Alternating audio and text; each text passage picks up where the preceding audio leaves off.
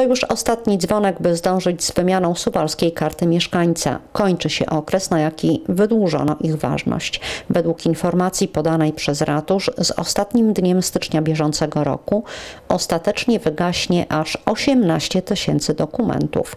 Co ważne, karty, dla których data ważności przypada na okres po 31 stycznia 2022 roku, zachowują swoją aktywność zgodnie z nadrukowanym na nich terminem. Ponieważ. Tak SKM daje mieszkańcom liczne uprawnienia, warto zadbać, by je utrzymać.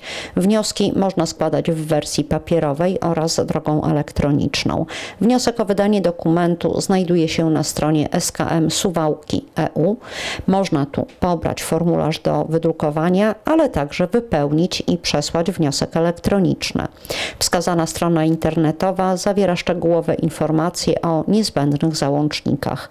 Ci, którzy zdecydują się na złożenie wniosku papierowego, powinni załączyć do niego również zdjęcie. Jeśli wnioskodawca go nie ma, można je wykonać w ratuszu. Przypominamy, że wnioski są przyjmowane w budynku przy ulicy Sejneńskiej 13. Nowa SKMK może mieć postać aplikacji telefonicznej lub karty zbliżeniowej. Oczywiście możliwe jest również uzyskanie dokumentu w obu formułach.